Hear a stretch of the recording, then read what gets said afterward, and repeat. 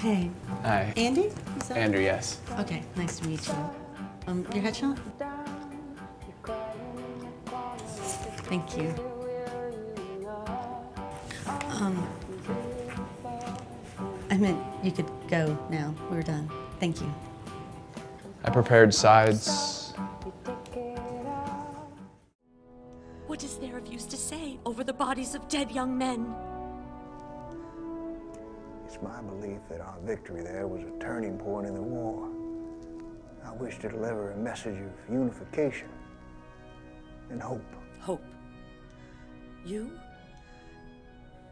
You are the most melancholy man I've ever known, Mr. Lincoln. Excuse me. Ah, yes? Were you here Friday night about this same time? Yeah, we unload papers here every day. And did you see or hear anything suspicious? Actually, I thought I heard a woman screaming across the street over by that payphone.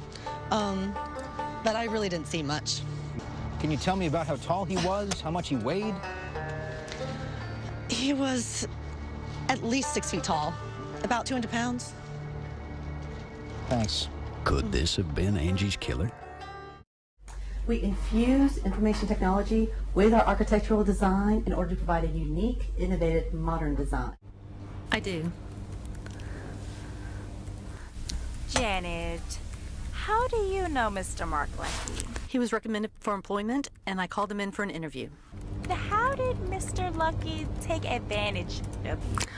Well, he used his gift to get hired and move up in the company.